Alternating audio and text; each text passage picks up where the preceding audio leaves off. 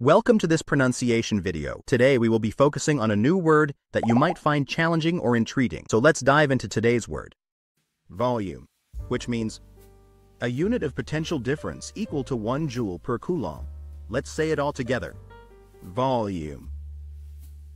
Volume. Volume. One more time. Volume. Volume.